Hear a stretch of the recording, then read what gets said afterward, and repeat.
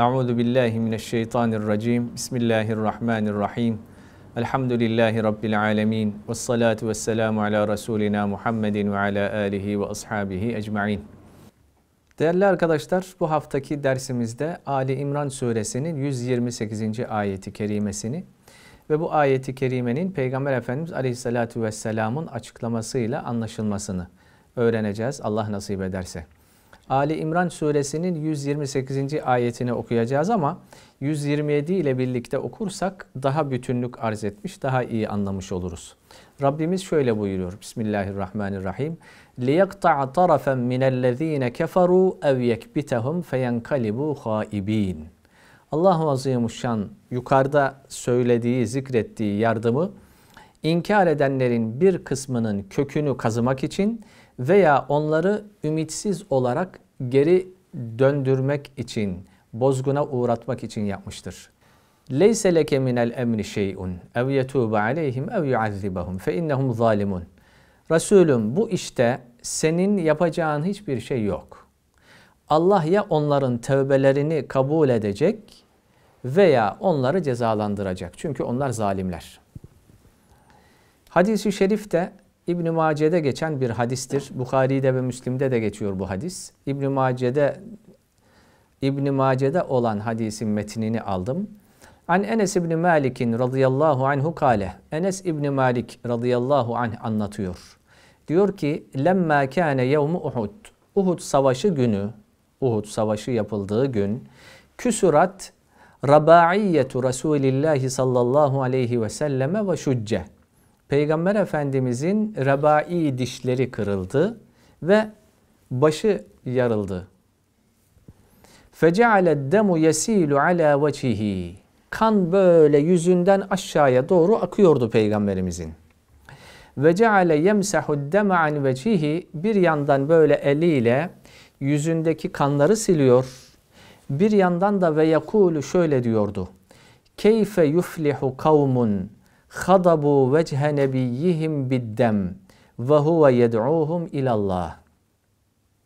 Allahu Azimuşşan bir peygamberi kavmini Allah'a davet ettiği halde peygamber kavmini Allah'a davet ediyor. Allah'a davet ettiği halde peygamberin yüzünü kana boyayan bir kavmi Allah nasıl iflah etsin diyordu. Allah'a davet ediyor. Fakat onlar yaralıyor, öldürmeye teşebbüs ediyor. Bu kavim iflah olur mu? diyordu. Feenzelallahu azze ve celle. Bunun üzerine Allahu Azimuşşan şu ayet-i kerimeyi indirdi. Leyse leke minel emri şey. Habibim senin bu konuda herhangi bir sorumluluğun yok dedi. Ayeti kerime bu. Hadis-i şerifte bu. Değerli arkadaşlar bu ayeti kerime Peygamber Efendimiz'e diyor ki Allahu Azimuşşan'ın istediğini bu dünyada cezalandırmasını, istediğini ahirete ceza olarak bırakmasına ve istediğini de bu dünyada mühlet vererek onların doğru yolu bulmasına vesile olması için bir mühlet vermesine Allahu Azimuşşan karar verir. Senin bu konuda herhangi bir müdahalen olamaz diyor. Şimdi Bedir Savaşı. Bedir Savaşı'nda Allah Resulü aleyhissalatu vesselama karşı savaşan bir Kureyş kabilesi var karşılarında. Mevla Teala Hazretleri Müslümanları rahatlatmak için 3000 tane melek indiriyor. Destek ordusuna 3000 tane melek indiriyor. Peygamber Efendimiz Aleyhisselatü Vesselam diyor ki bunlar tamam.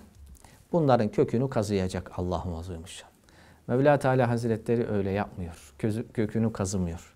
Ya bir kısmı orada ölüyor. Ebu Cehiller, Ümeyyeler, Utbeler, Şeybeler orada ölüyorlar. Bir kısmı esir alınıyor. Sonra salınıyor. Bir kısmı da daha sonradan, seneler sonra Müslüman oluyor. Allah-u Azimuşşan'ın işine akıl sır ermez müminler. Her işi hikmetlidir onun. Allah-u Azimuşşan peygamberine onu söylüyor işte. Diyor ki sen beddua etsen de Uhud savaşında seni yaralayan şu kavminin dişlerinin kırılmasına sebep olan, başından seni yaralayan şu kavmine sen beddua etsen de senin yapacağın bir şey yok. Allah-u Azimuşşan bunların kimisini helak edecek ama kimisini de bırakacak. Memleketlerine dönecekler. Döndükten sonra da zaman gelecek Müslüman olacaklar. Olmuş mu peki? Evet. Uhud Savaşı'na düşman ordusunu oraya getiren, düşman ordusunun kumandanı Ebu Süfyan Müslüman oldu. Biraz sonra anlatacağım. Uhud Savaşı'nda Müslümanları bozguna uğratan kolun o 200 kişilik asker o 200 kişilik atlı askerin başında olan kumandan Halid bin Velid Müslüman olmuştur. Amr bin As Müslüman olmuştur. Ve Müslüman olmuş daha çok insan var. Onun için Allah-u Azimuşşan diyor ki leyse leke minel emri şey. Yani onların yaptığı işlerden dolayı sana herhangi bir sorumluluk yoktur. Onları bana bırak diyor.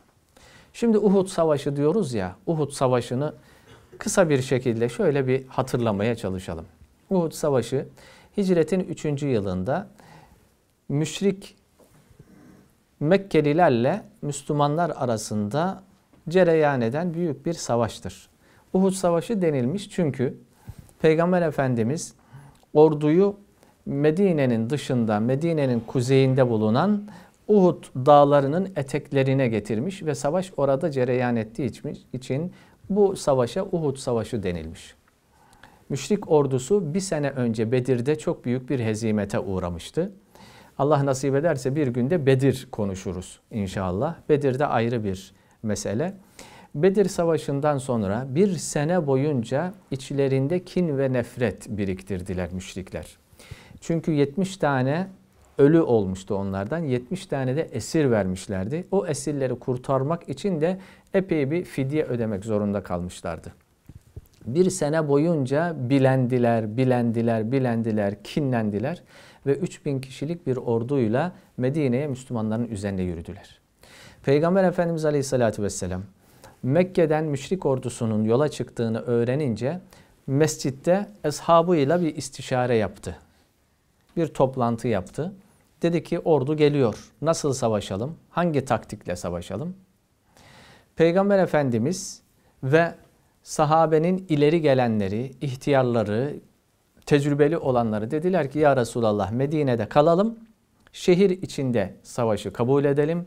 Dolayısıyla şehir içinde içinde onları daha çok, daha çabuk dağıtırız.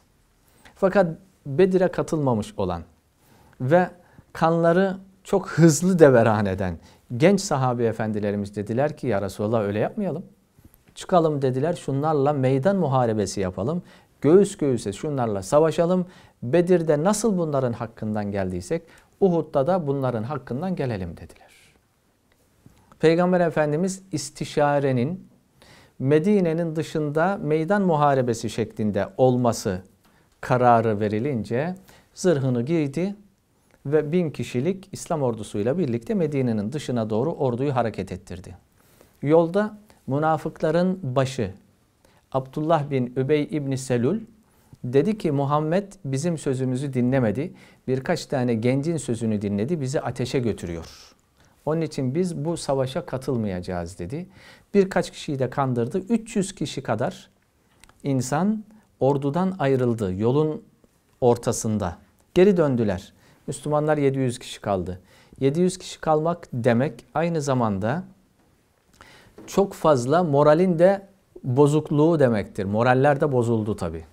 Ama Peygamber Efendimiz yola devam etti. Hatta onlara dedi ki Allahu Azimuşşan size Bedir'de 3000 tane melekle destek verdi. Burada da Allahu Azimuşşan size destek verecektir dedi. Moral verdi ve Uhud'a geldiler. Uhud çok kritik bir alan arkadaşlar. Ee, İslam ordusu arkasını Uhud dağına verdiler. Ön tarafta müşrik ordusunu karşılayacaklar. Fakat savaştıkları alanda bir de sol taraflarında bir tepe var. Tepe bugün Okçu Tepesi diye bilinen hacılar ömreciler tarafından gidip ziyaret edilen tepe. Orası kritik bir tepe, kritik bir nokta olduğu için Peygamber Efendimiz 50 kişilik iyi ok atan bir ekibi ayırdı ve başlarına da Abdullah bin Cübeyr'i kumandan olarak verdi, oraya dikti. Onlara kesin bir talimat veriyor şimdi Peygamberimiz. Diyor ki bakın siz buradan kesinlikle ayrılmayacaksınız. Ben size haber gönderirsem o zaman ineceksiniz. Baktınız ki biz savaşı kazandık, galip geldik. Yine benden emir almadan ayrılmayacaksınız. Baktınız ki mağlup olduk. Hatta cesetlerimizi yaban kuşları yemeye başladı, parçalamaya başladı. Yine yerinizden ayrılmayacaksınız benden emir gelmeyinceye kadar dedi. Kesin talimatta onları oraya koydu. Ve müşrik ordusu karşı taraftan geldiler. Tabi onların da bir harp taktiği, bir tekniği var. Onlar da baktılar ki orada bir tepe var. Tepenin arkasından eğer biz dönersek bir grup tepenin arkasından dönerse Müslümanları mağlup edebiliriz. Onun için 200 kişilik suvari birliği başında Halid bin Velid ve Ebu Cehil'in oğlu İkrime başlarında kumandan olarak bekletildi. Savaşa katılmıyorlar onlar. Bir kenarda bekliyorlar. Niçin bekliyorlar? Niçin tepenin etrafını dönmüyorlar? Çünkü biliyorlar ki tepenin etrafını dönerlerse tepedeki okçular dönene kadar her bir okçu dört tane suvariyi indirirse zaten hiç kimse kalmaz suvarilerde. Onun için eğer orayı terk ederlerse biz arkadan dolanınız diye onlar da bir kenarda beklemeye başladılar. Savaş başladı. Savaş hızlı bir şekilde devam ediyor. Peygamber Efendimiz Aleyhisselatü Vesselam'ın etrafında adeta etten bir duvar örmüş sahabe efendilerimiz. Ve Allah-u Azimuşşan'ın vermiş olduğu gayrette birlikte savaşıyorlar. Daha ilk vakitlerde, ilk saatlerde düşman ordusunu darmadağın etti Müslümanlar. Kaçmaya başladı düşman ordusu. Kaçmaya başlayınca Müslümanlar da bir yandan onları kovalıyor, bir yandan da onların attığı, bıraktığı kılıçtır, kalkandır, zırhtır, bunun gibi ganimet deniliyor bunlara. Bunları topluyorlar. Baktılar ki Okçu Tepesi'ndeki 50 tane Müslüman artık biz savaşı kazandık. Hatta ganimet toplanmaya başladı. Dediler ki ya biz de inelim. Tamam savaş bitti. Savaşı kazandık biz. Biz de inelim, biz de ganimet toplayalım dediler. Abdullah bin Cübeyr kumandanları Peygamber Efendimizin kesin talimatını hatırlattı. Hiçbir yere ayrılmayacağız. Dinlemediler. İndiler. 3-5 kişi kaldı Abdullah bin Cübeyr ile birlikte. Gerisi indi. Onlar da ganimet toplamaya başladılar. O zamana kadar bu fırsatı bekleyen oradaki suvari birliği ve başındaki Halid bin Velid İkrime baktılar ki orası boşaldı. Derhal atlarını sürdüler. Tepede kalan kumandan ve yanındaki beş tane Müslümanı da şehit ettikten sonra arkadan Müslümanların arkasına geçtiler. Ve arkadan saldırı başladı. Müslümanlar neye uğradıklarını şaşırdılar. Arkadan bir atlı süvari geliyor. Bir süvari birliği geliyor. Onlara karşı döndüler savaşmaya başladıklarında önde kaçan düşman ordusu da arkadan gelen birlikleri gördüler. Onlar da dönünce iki ateş arasında Müslümanlar kaldı. Artık bir can pazarı yaşanmaya başladı. İşte tam orada Vahşi'nin fırsat gözlediği andı. Vahşi Hazreti Hamza'yı işte orada şehit etti. Mus'ab bin Ümeyr, Peygamber Efendimiz Aleyhisselatü Vesselam'ın önünde savaşan İslam ordusunun bayrağı elinde bulunan Mus'ab, Mus'ab bin Ümeyr orada toprağa düştü, şehit oldu. Abdullah bin Cahş orada şehit oldu. Enes bin Nadır orada şehit oldu ve diğer 70 tane şehit orada verildi. Bu arada Mekke'den daha yola çıkarken ben Muhammed'i öldüreceğim diye kafasına koymuş olan İbni Kamiya adındaki müşrik de Peygamber Efendimiz'i gözlüyor ama yaklaşamıyor yanına. Bu karmaşada etrafındaki sahabi efendilerimiz de dağılınca bir yarma hareketiyle birlikte Peygamber Efendimiz'e kadar ulaştı ve bir darbe indirdi. Allah Resulü aleyhissalatü vesselamın başındaki miğferi darbe alınca şu yanaklarına halkaları battı. Sonra şu ön taraftaki ilk iki dişini düşünmeyin. Ondan sonraki iki dişiyle arka, aşağıdaki iki dişi, rebai diş denilen bu dört diş, bu dişler kırıldı, döküldü. O halkalar yanağına battı, damağında kaldı. Ve kanamaya başladı. Yüzü kan içinde kaldı. Müşriklerin daha önce yere açtıkları çukurlar var. Atlar düşsün ya da insanlar koşarken görmesin düşsün diye çukurlar var. Peygamber Efendimiz geri geri gelirken ayağa takıldı çukura da düştü. İşte o anda bir feryat yükseldi. İbni Kamiya veya müşrik ordularından birisi Muhammed öldü dediler. Öldürüldü Muhammed, Muhammed öldü dediler. Bu hemen Müslümanların arasında da yayıldı. Peygamber Efendimizin öldüğü haberini alan Müslümanlar da tamamen artık savaşma gayreti, azmi kalmadı, bitti. Kolları, kanatları kırıldı. Herkes elindekini bıraktı. Peygamber Efendimiz ölmüşse biz artık daha ne yaparız diye bıraktılar. Tam o dönemlerde Enes bin Nadır adındaki şu hadisi şerifi rivayet eden Enes bin Malik'in de amcasıdır ya da dayısıdır. O ortaya çıktı. Dedi ki Muhammed öldürüldüyse biz niye yaşıyoruz ki bu dünyada? Peygamber yoksa bizim yaşamaya bir hakkımız var mı bu dünyada? Biz de gidelim ve onun gibi ölelim dedi ve girdi düşman ordularının arasına. E, o da orada şehit oldu. Şimdi arkadaşlar Peygamber Efendimiz Aleyhisselatü Vesselam bu insanlara La ilahe illallah davasını getirmiş. La ilahe illallah deyin kurtulun. Hem bu dünyada mutlu huzurlu bir hayat yaşayın. Allah'ın razı olduğu bir hayat yaşayın. Hem de ahirette ebedi nimet Allah'ın rızasına erişin diyor, gayret ediyor. Fakat o insanların peygamberimize yaptıklarına bakın. Onu öldürmeye çalışıyorlar. Bu müthiş bir şey. İşte Peygamber Efendimiz buna içerlemiş. Bir taraftan o başından akan kanları yüzünden silerken bir tarafta da bu insanlar nasıl iflah olacak? Nasıl bu kavim iflah olacak? Ben onları Allah'a davet ediyorum. Onlar beni öldürmeye çalışıyorlar deyince Allah Azimuşşan bu ayeti indiriyor. Diyor ki sanki Allah Azimuşşan istesem ben hepsini sana kurban ederim hepsini öldürürüm. Hepsini kılıçtan geçirmenize müsaade ederim. Ama benim bir planım var. Onun için leyse leke minel emri şeyun. Yani bu konuda senin herhangi bir sorumluluğun yok. Ev yetûbe aleyhim ev yuazzibahum. İsterse Allahu Azimuşşan onları tövbe eder. Yani onlara tövbe nasip eder. Yani onlara hidayet nasip eder. İşte Ebu Sufyan, o ordunun kumandanıydı Ebu Sufyan, Müslüman oldu. Hazreti Hamza'yı şehit eden Vahşi Müslüman oldu. Hazreti Hamza'yı şehit etmesi için Vahşi'yi tutan, çok büyük paralara tutan ve Hazreti Hamza'nın şehit edildiğini bizzat gözleriyle görmeden inanmayan kadın Hint, Ebu Sufyan'ın hanımı Hint Müslüman oldu arkadaşlar.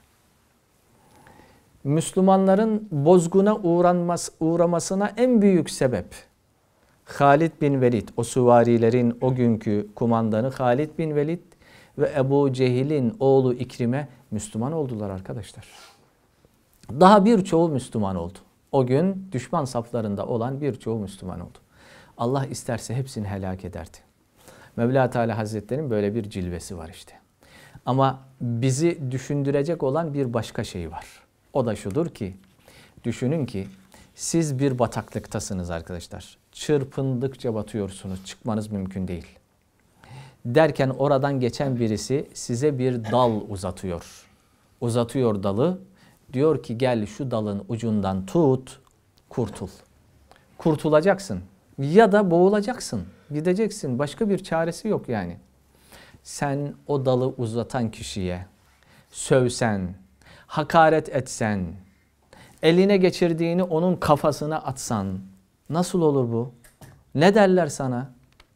İşte aynı peygamberlere söven, peygamberlere hakaret eden, peygamberlere suikast düzenleyen insanların hali durumu da budur. Peygamber Efendimiz Aleyhisselatü Vesselam'a neler yapıldı neler. Bir başka ders konusudur o. Peygamberlerden ulul azim peygamberlere. İçinde de Peygamber Efendimiz'e neler yapıldı, ne zulümler yapıldı, ne haksızlıklar yapıldı. O ayrı bir ders konusudur arkadaşlar. Onun için ona girmeyeceğim. Fakat onun dışında peygamberlere neler yapıldı neler. Peygamberlerden bazılarına daha kendi ailesinden hanımı ve çocuğu inanmadı. Peygamberlerden bazılarına akrabaları düşmanlık yaptılar. Peygamberlerden bazılarına kavmi, toplumu yapmadıklarını bırakmadılar. Bununla alakalı örnekler. Peygamberlerden Nuh aleyhisselamla Lut aleyhisselam ikisinin de hanımı kocaları peygamber olduğu halde kocalarının getirdiği dine inanmadılar. Ayeti kerime Tahrim suresinden 10. ayet Rabbimiz buyuruyor ki onu anlatarak Daraballahu meselen lillezine keferu imra'ate Nuhin ve imra'ate Lut. Allahu Azimuşşan inkar edenlere Nuh'un hanımıyla Lut'un hanımını bir misal olarak veriyor. Kânetâ tahte abdeyni min ibadina salihin. Bu hanımlar iki salih kulumuz olan iki peygamberin nikahları altındaydılar. Onların hanımıydılar. Fakânetâhuma ihanet ettiler kocalarının davasına ihanet ettiler. Ama felem yugniya anhuma min Allahi şey'a.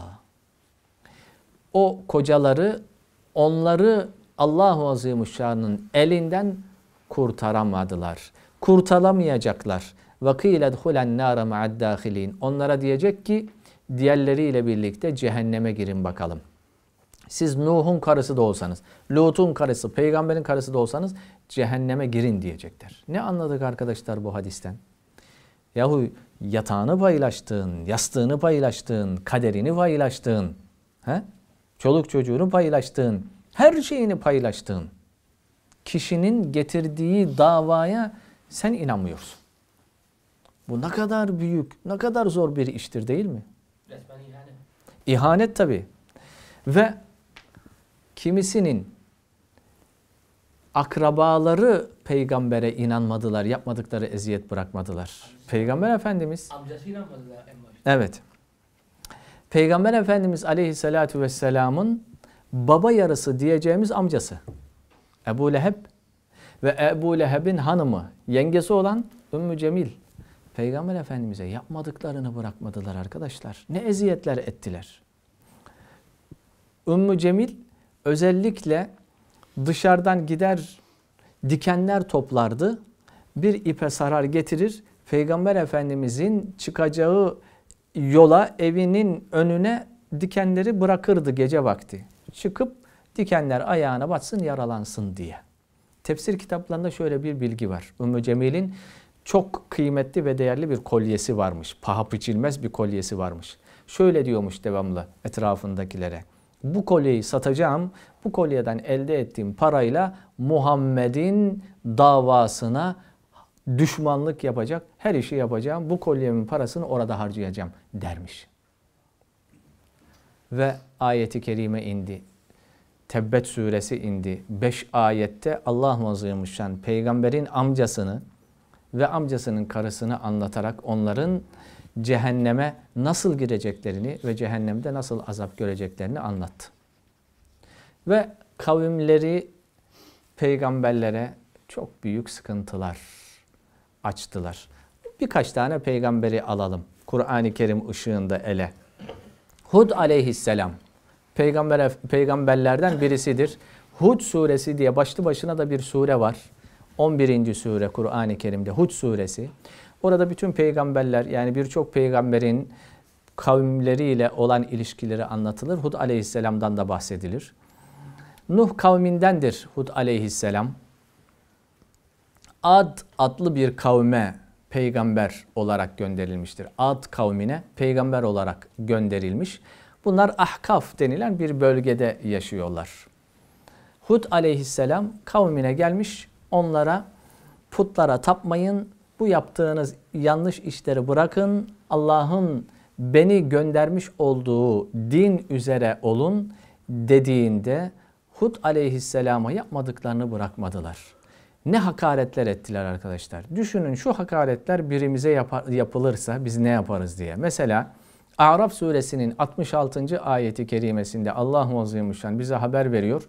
Özellikle kavmin ileri gelenleri, diyelim ki zenginleri, diyelim ki yöneticileri, yöneticileri, zenginleri Kâlel mele'ullezîne keferû min kavmihi Hud aleyhisselamın kavminden olan ileri gelenler dediler ki inna lenerâke fî sefahetin biz seni akılsızlık içinde görüyoruz. Akılsız bir adamsın sen dediler. Bir peygambere kavmi diyor ki sen akılsız bir adamsın, sefih bir adamsın diyor. Bize yapsa bu arkadaşımız bu hakareti arkadaşlığı keseriz. Hud aleyhisselam bu hakaretlerle yaşadı. Ve inna lenazunnuke minel kadibin. Biz biliyoruz ki sen yalancısın diyorlar. Bu söylediklerin hepsi yalandır diyorlar. Bize bir arkadaşımızın böyle bir hakaret yaptığını düşünün. Ya da annemizin, babamızın, eşimizin, çocuğumuzun böyle bir şey, böyle bir hakaret edildiğini düşünsene. Nasıl yaşayacaksın? Nasıl görevini, vazifeni hala yapacaksın? Yine Hud suresinin 53. ayeti kerimesinde de anlatıyor Allah-u Azimüşşan. Dediler ki kavmi kalu yahudu ma ci'na bi beyinetin ve ma nahnu bi tariki aliyetina an kavlike ve ma nahnu leke bi mu'minin. Ey Hud bize açık bir mucize getirmedin ki sen. Biz senin sözünle, senin sözünle ilahlarımızı bırakacak değiliz. Biz sana iman falan etmiyoruz dediler.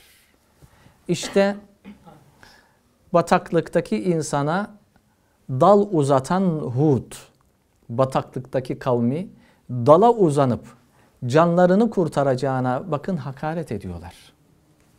Mesela Salih aleyhisselamdan bahseder Kur'an-ı Kerim bize. Salih aleyhisselam da Semud kavmine peygamber olarak gönderilmiştir. Kavminin en soylu insanı Salih aleyhisselam. Yani böyle herkesin takdir ettiği, herkesin saygı duyduğu bir insandır. Peygamberlik gelmeden önceki dönemi. Soyu ta Nuh aleyhisselama kadar dayanıyor. Semud kavmi önceleri imanlı bir kavim. Daha sonra sapıtıyorlar.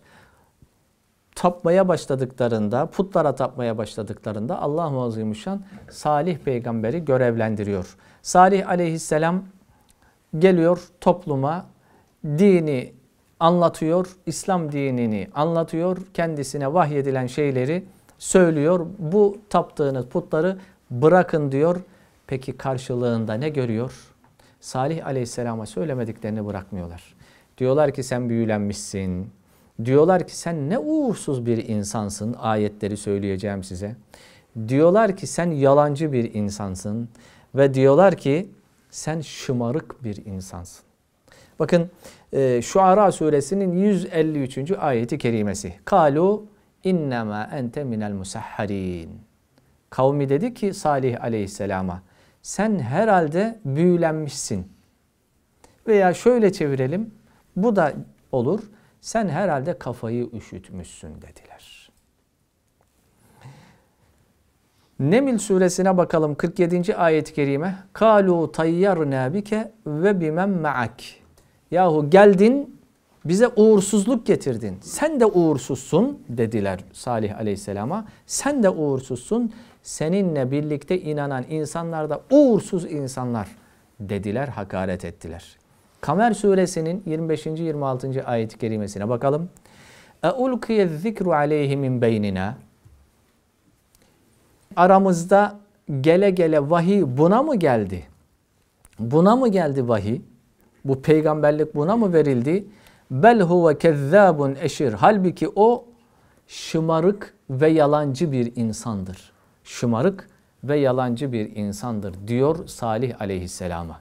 Allahu Azimuşşan'ın gayretine dokunacak ki Mevla Teala Hazretleri Salih'e bırakmıyor. Kendisi cevap veriyor onlara. Diyor ki seyalemune gaden menil kezzabul eşir. Yarın bilecekler bakalım Görecekler bakalım kimmiş o şımarık ve yalancı. Görecekler diyor. Salih aleyhisselam da böyle. Gidelim Lut aleyhisselama. Lut aleyhisselam da Kur'an-ı Kerim'de 27 yerde adı geçen bir peygamberdir. İbrahim aleyhisselamın yeğenidir.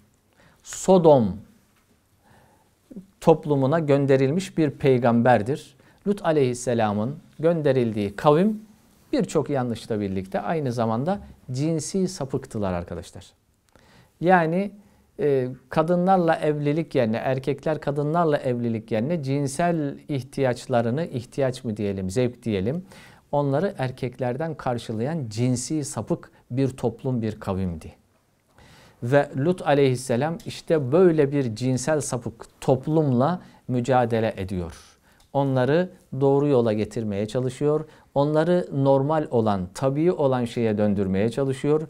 Yahu diyor hanımlar var ya Allahu Azimuşşan sizin için erkekler sizin için hanımlar yarattı. Hanımlarla evlenin, onlarla birlikte beraber olun diyor. Ne sapık insanlarsınız diyor. Bu pisliktir diyor. Siz niye tertemiz dururken pis şeye e, dönüyorsunuz, gidiyorsunuz diye güzel güzel onlara yolun doğrusunu anlattığı halde Lut aleyhisselama dediler ki ya sesini keser oturursun, bize karışmazsın veyahut da eğer bize karışmaya devam edersen, işimize müdahale etmeye devam edersen buradan seni kovarız dediler. Memleketten kovarız seni bir daha da bu memlekete giremezsin dediler. Ne yaptı Lut aleyhisselam? Vaz mı geçti? Sesini mi kesti? Hayır. Mücadelesine devam etti. Allahu Azimuşşan emri gelene kadar mücadelesine devam etti. Allahu Azimuşşan bir imtihan verdi. Lut aleyhisselama. Üç tane melek gönderiyor. Fakat melekler yakışıklı birer delikanlı şeklinde, insan şeklinde geliyorlar. Lut peygamber de bilmiyor ki bu gelenler melektir. İnsan zannediyor. Yabancı üç kişi gelmiş. Sodom denilen yere gelmiş. Efendim e, Lut aleyhisselamla selamlaşıyorlar. Lut aleyhisselam diyor ki gelin sizi misafir edeyim. Bizim eve buyurun misafir olun diyor. Ve evlerine kendi evine götürüyor bu misafirleri. Bir yandan da çok da canı sıkılıyor. Eğer bu sapık toplum böyle yabancı üç tane erkeğin memlekete geldiğini görürlerse mutlaka bunlara bir kötülük yapmak isterler diye de çok da canı sıkılıyor. Kur'an-ı Kerim öyle ifade ediyor bize. Evlerinde onları misafir ederken haber onlara uçuyor tabi. Sapık topluma haber gidiyor. Derhal toplanıyorlar, geliyorlar. Lut Aleyhisselam'ın evinin etrafını çeviriyorlar, başlıyorlar bağırmaya. Lut onları bize ver, onları bize ver, onları bize teslim et diye. Ne yapacaksın şimdi? Koca bir peygamber. Kavmini yola getirememiş. Üstüne üstlük kendi evinde misafir ettiği kişilere de kötülük yapmak için evin etrafını çevirmiş bir toplum, bir sapık toplum. Çıkıyor. Konuşuyor onlarla. İnsan gibi konuşuyor. Yapmayın diyor. Bunlar benim misafirim. Beni mahcup etmeyin bunlara. Gidin dağılın. Hem ben size devamlı söylemiyor muyum? Yani bu Allah'ın insan için yarattığı bir cinsel ihtiyaçtır ama bunu gidin kadınlardan giderin, gidin evlenin. Çoluk çocuğa karışın. Niye böyle yapıyorsunuz falan dediyse de dinletemiyor. Diyorlar ki sen bizim ne istediğimizi biliyorsun. Biz zaten sana demiştik değil mi işimize karışma diye. İşimize karışma onları bize teslim et. İşte orada Lut aleyhisselamın ne kadar rahatsız olduğunu, ne kadar sıkıntı çektiğini, için için ne kadar sıkıntı çektiğini şu ayeti kerimede onun sözleri anlaşılmasına sebep oluyor. Diyor ki Nuh aleyhisselam, lev enne li bikum kuvveten ev avi ila ruknin şedid. Keşke size karşı koyacak bir gücüm olsaydı.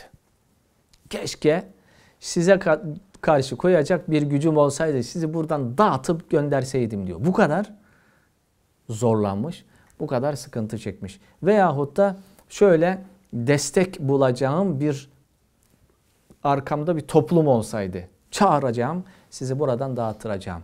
Bu kadar e, psikolojik olarak rahatsız olmuş bir Lut aleyhisselamı görüyoruz. Gelenler diyorlar ki Lut gel gel. Biz diyorlar Allah'ın görevlendirdiği melekleriz. Onlar bize bir şey yapamaz. Hatta biz zaten buraya onları alt üst etmeye geldik. Senin kavmini helak etmeye Allah gönderdi bizi buraya. Sen şimdi gece yarısı al sana inananları topla yanına ailenle birlikte bu memleketten çık. Bak biz onların başına ne getireceğiz diyorlar ve sabaha karşı o koca yurt Sodom altı üstüne geliyor. Bugün İsrail topraklarının içinde bulunan Ölü Deniz, Lut Gölü denilen ve Ürdün sınırının hemen kenarında olan yer orasıdır. Ve Zekeriya aleyhisselam değerli arkadaşlar. Yani her peygamberin ayrı bir hikayesi, ayrı bir sıkıntısı var da bunları seçtim. Zekeriya aleyhisselam İsrailoğullarına gönderilmiş bir peygamberdir. Zekeriya aleyhisselam Süleyman aleyhisselamın torunlarındandır. O kabileden gelmiş ve Kudüs'te görev yapıyor. Kudüs'te e, Yahudilerin ileri gelenleri, alimleri her Allah'ın ayetine, Allah'ın her emrine, her sözüne itiraz ediyorlar. Zekeriya Aleyhisselam'ın her söylediğine bir kulp takıyorlar, bir yol bürüyorlar, itiraz ediyorlar, inanmıyorlar, inkar ediyorlar, karşı çıkıyorlar. Bu eziyetler içinde yaşıyor. Allahu Azimuşşan ayrıca bir imtihana daha tabi tutuyor Zekeriya Aleyhisselam'ı. İmran'ın hanımı hamile kalıyor. Diyor ki hulusu niyetiyle Ya Rabbi bu bebeğimi, karnımda taşıdığım bebeğim doğunca bunu mabete adayacağım. Orada mabetine hizmet etsin, temizlik yapsın ve orada ilim öğrensin, ibadet etsin.